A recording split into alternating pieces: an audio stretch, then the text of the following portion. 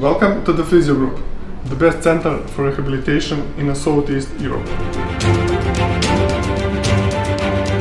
I'm Ana Bjelica, the member of volleyball national team Serbia.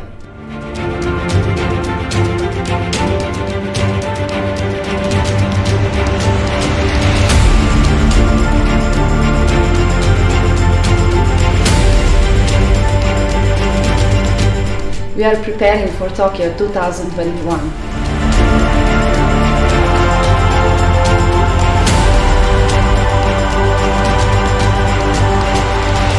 Serbia is ready for gold Olympic medal.